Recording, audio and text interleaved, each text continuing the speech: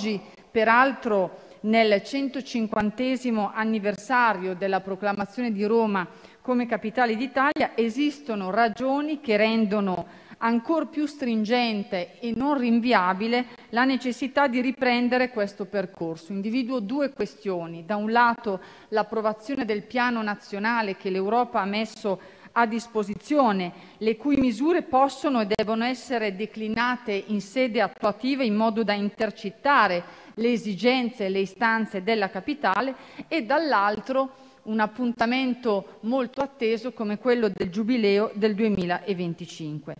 Di tali questioni ed esigenze il Governo è pienamente consapevole e l'intervento normativo che abbiamo in animo non può che essere multidimensionale, quindi riguardare da un lato l'architettura istituzionale, i poteri e le risorse e dovrà certamente questo intervento allineare Roma ad altre capitali, tutte invariabilmente munite di statuti e poteri peculiari.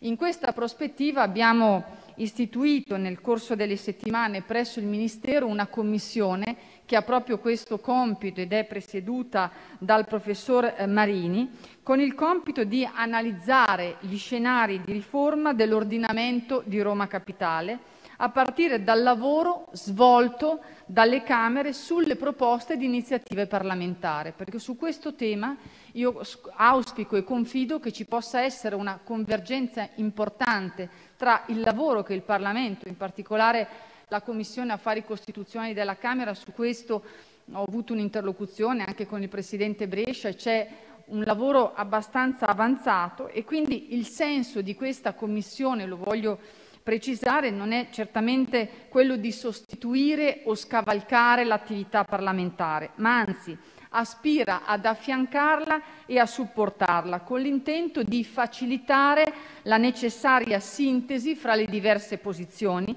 per addivenire in tempi rapidi alla soluzione tecnicamente più adeguata ad andare incontro alle esigenze di Roma e alla questione che viene posta. Eh, la Commissione sta lavorando alacremente facendo sintesi di iniziative molteplici di riforma costituzionale ma anche di riforma ordinaria che sono presenti in Parlamento e della preziosa istruttoria già svolta attraverso molteplici audizioni dalla prima commissione della Camera.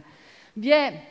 una sostanziale condivisione dei punti centrali di un intervento riformatore che non può riguardare, anche in attuazione dell'articolo 114 della Costituzione, i poteri e gli ambiti materiali delle funzioni di Roma Capitale, i meccanismi e le sedi di collaborazione istituzionale tra i diversi livelli di governo, il ruolo dei municipi, le forme e modalità di attribuzione delle risorse. La Commissione si è data un termine e quindi entro fine mese mi auguro di essere in grado di poter illustrare quello che, sarà,